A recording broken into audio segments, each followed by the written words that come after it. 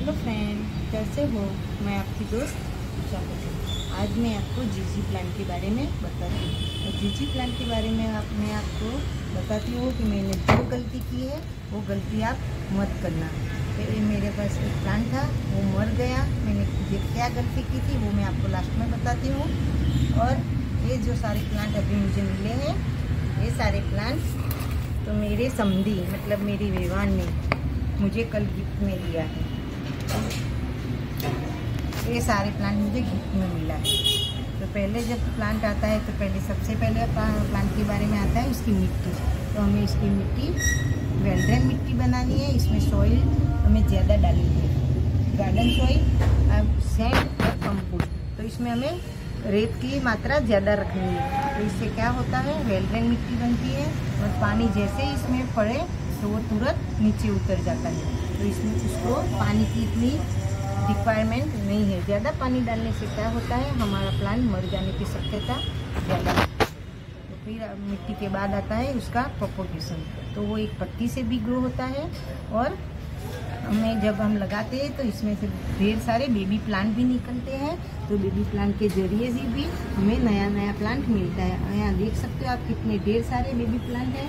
यहाँ भी देखो, ऐसे इसमें से नए नए बेबी प्लांट निकलते रहते हैं। तो ऐसे भी हमारा प्लांट हम घना बना सकते हैं और एक में से अनेक बना सकते हैं। इसमें भी देखो, बहुत सारे बेबी प्लांट निकले हैं। ये देखो, ऐसे ऐसे, ये ये ये सब बेबी प्लांट के ज़रिए हमारा प्लांट घना हो गया है। वो बाज़ार में लेने जाओगे तो आपको बहुत ही महँगा प्लांट मिलता है।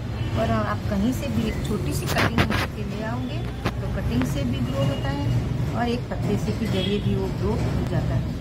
हमने वो कल कल जो प्लांट आया, हमने, मैंने सोचा चलो इसको मैं एक एक दिन में धूप में रखूँ, क्या होता है?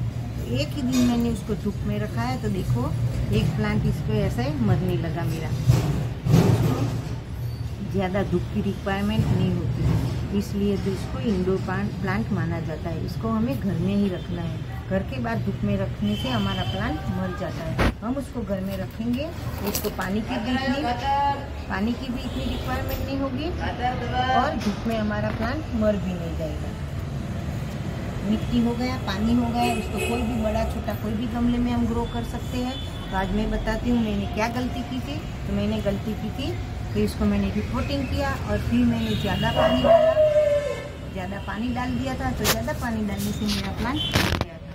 तो आप ये गलती, आप ये गलती मत करना कि ज़्यादा पानी नहीं डालने का है। मैंने ज़्यादा पानी डालने की गलती करके मेरा प्लांट पहले ऐसे ही था तो इसमें से मेरा प्लांट मर गया। और इसमें हम दोनों ने साथ में ही प्लांट आए थे।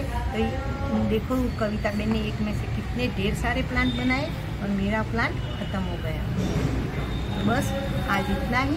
फिर मिलेंगे कुछ नए टॉपिक के साथ। तब तक बाय बाय